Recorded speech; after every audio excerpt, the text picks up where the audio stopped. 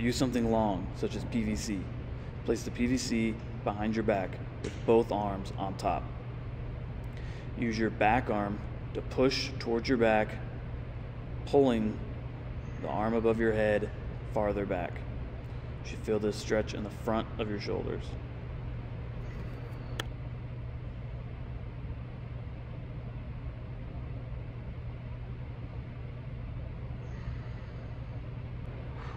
Next, place one arm and hand at the very end of the PVC.